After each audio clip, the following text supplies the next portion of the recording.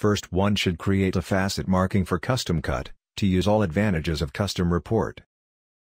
Then it will be possible to apply the facet marking to any diamond with similar design. To create the facet marking it is necessary to load a cutting. Then one should open Custom Report from the right menu. The cut will appear in the Custom Report window, with basic marking.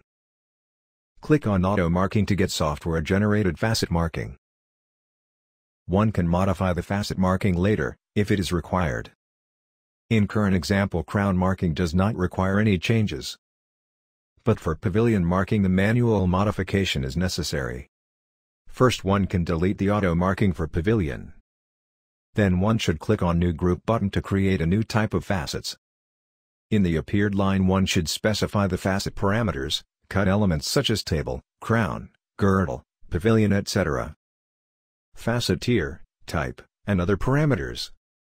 Also one can add additional captions to the facet types using the alias field.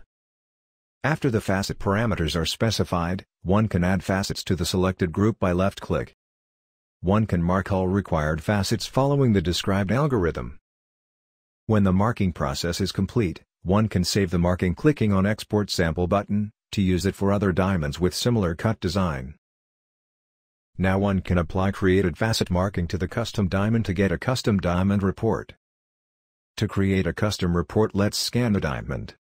For diamond with a custom design, one can select scanning with a sample, and load DMC file with marking that was created earlier. Any cut algorithm is also suitable for scanning custom shaped diamonds. Custom report can be applied to any loaded diamond models, along with scanned diamonds. To apply custom report to the selected model, click on Custom Report from the right menu. In the facet marking window click on From Sample and select master file with facet marking and click apply. You can also use browse to define the path to the folder with marking master files. The facet marking from the master file will be applied to current diamond model. One can generate the custom report clicking on Make Report button. Then the custom report will be generated. Among other parameters and images, the document will have two additional tables. One with statistics data, minimum, maximum, average, deviation, for each parameter of each facet group. And another one, with individual parameter values of every facet in every facet group.